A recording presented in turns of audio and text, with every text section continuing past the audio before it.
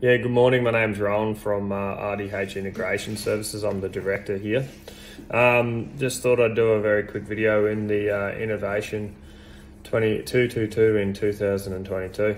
Um, innovation to me means you know, being creative, thinking about different opportunities and different ways that we can do things, um, and that's by creating new tech or implementing tech that's out there um, with additional uh, pieces of equipment to get things to work. Um, the problems we're solving in 2022 really are probably helping our agricultural customers now with um, and getting better internet across all their farms.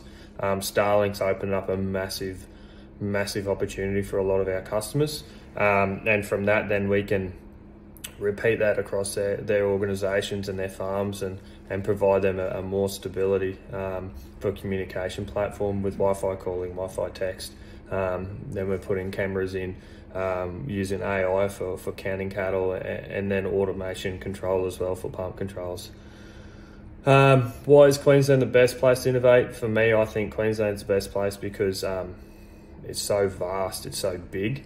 Um, we're based in Toowoomba, we cover a thousand k radius, um, and no customer is the same. So the daily challenges that, that we face, um, the adoption rate is, I think, pretty good, and um, the diversity.